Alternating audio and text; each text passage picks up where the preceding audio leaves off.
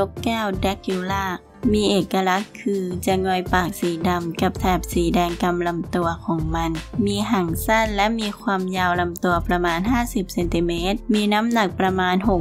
680-800 กรัม โดยเพศผู้และเพศเมียจะมีขนาดใกล้เคียงกัน แต่จะมีความแตกต่างคือเพศผู้ มีจุดสีแดงอยู่หลังดวงตา นอกจากนี้ยังถือเป็นหนึ่งในสามของสายพันธุ์นกแก้วที่ไม่มีขนบนใบหน้าด้วย พวกมันจะชอบเคลื่อนที่ไปตามามกิ่งไม้ด้วยการกระโดดแทนการก้าวเดิน เหมือนนกแก้วสายพันธุ์อื่น ๆ และพบได้บนภูเขาของนิวกินีเท่านั้น น่าเศร้าที่พวกมันตกเป็นเหยื่อของนักลักลอบล่าสัตว์ในท้องถิ่น และสูญเสียที่อยู่ เนื่องจากขนของมันได้รับความนิยมในการนำไปประดับชุด เพื่อทำพิธีของชนพื้นเมือง รวมถึงการรับประทานเนื้อและนำไปเป็นสัตว์เลี้ยง มันจึงถูกขึ้นบัญชีให้เป็นสัตว์ที่มีความเสี่ยงต่อการสูญพันธุ์ และถึงงมันจะชื่อนกแก้วแดคิวล่าแต่มันก็ไม่ได้กินเลือดเป็นอาหาร พวกมันกินมะเดื่อ และน้ำหวานจากดอกไม้เป็นอาหารเหมือนนกทั่วไปเท่านั้น อย่าลืมกดติดตามช anel ของเราเพื่อที่จะได้ไม่พลาดคลิปต่อๆไปด้วยนะคะ